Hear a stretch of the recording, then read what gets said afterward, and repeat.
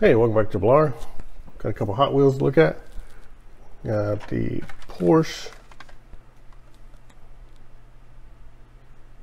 89 944 Turbo.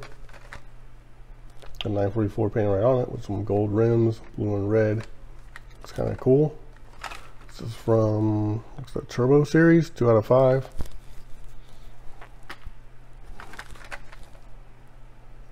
Uh, some kind of name on there, I guess maybe for a custom.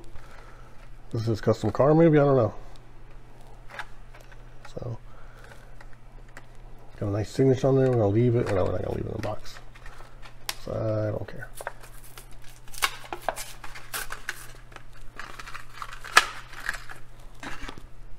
Okay, here we have 944 out of the package.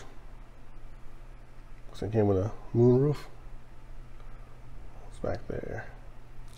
Can't tell. Looks like a stethoscope. so this was a, a doctor's car, I guess.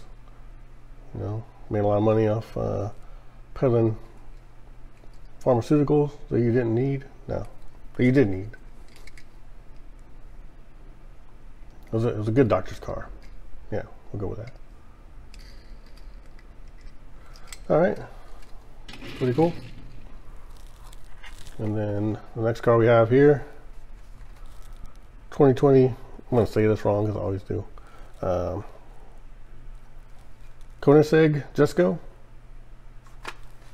Say like really fast, maybe that will cover it up. Koenigsegg Jesko. This is what, 2020, okay. So car from 89, car from 2020.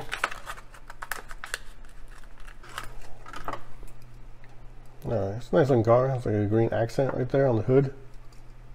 That's the only place that has a different color it looks like. Pretty nice. sure this car, of course, blows this one out of the water. Um, this one really kind of pops because of the, the paint job and the gold wheels. Both nice looking cars. 2020, 89. I got a current and a throwback.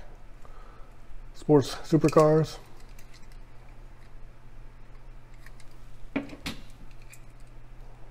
I don't know if I'd consider 944 a supercar though.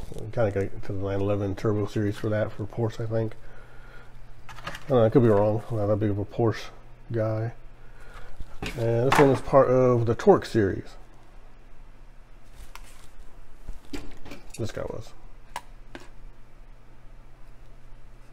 Hmm, so let's have green this uh, lower part. I don't see any green there. Go get my dollar back. Anyway.